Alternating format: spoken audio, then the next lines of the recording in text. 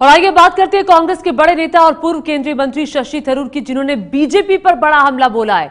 शशि थरूर ने कहा है कि अगर बीजेपी 2019 के लोकसभा चुनाव में जीत जाती है तो वो हिंदू पाकिस्तान बनने जैसे हालात पैदा कर देगी। केरल के तिरुवनंतपुरम में एक कार्यक्रम में शशि थरूर ने कहा कि 2019 में बीजेपी जीती तो वो नया संविधान लिखेगी जो भारत को पाकिस्तान जैसे मुल्क में बदलने का रास्ता साफ़ करेगा। जहाँ अल्पसंख्यकों के अधिकारों का कोई सम्मान नहीं होगा तो बड़ा हमला बोला है शशि थरूर ने बीजेपी पर।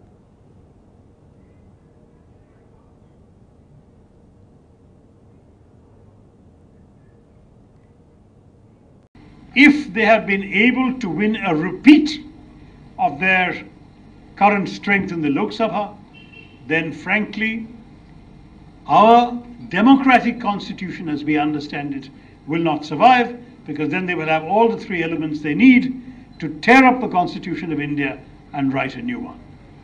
And that will be a new one that will enshrine the principle of a Hindu Rashtra, that will remove equality for the minorities, that will create a Hindu Pakistan. और शशि थरूर के इस बयान पर बीजेपी ने भी जवाब दिया है। बीजेपी के प्रवक्ता संबित पात्रा ने कहा है कि थरूर ने देश और हिंदुओं का अपमान किया है।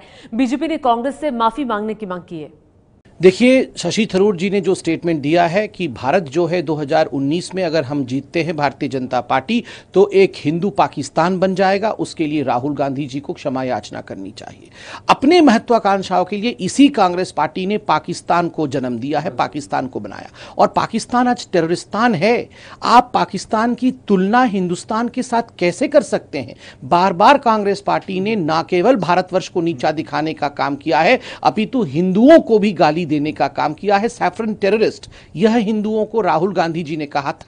और आज पुनः हिंदुओं को जिस प्रकार से पाकिस्तान के साथ तुलना करने की बात की जा रही है, इसके लिए राहुल जी को माफ़ी मांगनी चाहिए।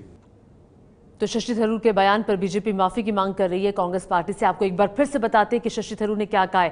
कांग्रेस के बड़े नेता शशि थरूर, जिन्होंने बीजेपी पर हमला बोला है और यह कहा कि 2019 में अगर बीजेपी जीत जाती है तो वो फिर इस मुल्क को हिंदू पाकिस्तान बना देगी। पाकिस्तान जैसे हालात पैदा हो जाएँगे जहाँ पर अल्पसंख्यकों के अधिकारों का कोई सम्मान नहीं होता है। ये ये कहते हुए बड़ा हमला बोला है शशि थरूर ने बीजेपी पर, जिस पर बीजेपी ने भी पलटवार करते हुए कांग्रेस पार्टी से माफ़ी की मांग की है। अब इस मामले पर आज दिन भर हमें राजनीति देखने को मिलेगी। बीजेपी और कांग्रेस दोनों में झड़पे एक किस्म से देखने को मिलेगी। जो जबानी जंग है, वो देखने को मिलेगी। थरूर के बयान पर बीजेपी ने माफ़ी की मांग की है सीधे राहुल गांधी से। कौन है शशि थरूर जिन्होंने ये बयान दिया है? आइए उनके बारे में आपको बता देते हैं। पूर्व राजनायिक और कांग्रेस के बड़े नेता हैं शशि थरूर। संयुक्त राष्ट्र में भी काम कर चुके हैं शशि थरूर। आपको बता दें कि 2009 से तिरुवंतपुरम से सांसद है थरूर। यूपीए सरकार में मंत्री रह चुके हैं शशि थरूर। आईपीएल विवाद को लेकर मंत्री की कुर्सी भी शशि थरूर की जा चुकी है और पत्नी सुनंदा पुष्कर की मौत के बाद विवाद में भी घिरे थे शशि थरूर। थरूर पर सुनंदा पुष्कर को खुदकुशी के लिए उकसाने के आरोप भी लगे हैं, जिस मामले की जाँच अभी चल रही है। लेकिन शशि थरूर ने बड़ा बयान देते हुए बीजेपी पर हमला बोला और कहा कि दो हज़ार उन्नीस में अगर बीजेपी जीत जाती है तो वो मुल्क को हिंदू पाकिस्तान बना देंगे। ये है एबीपी न्यूज़ आपको रखे आगे।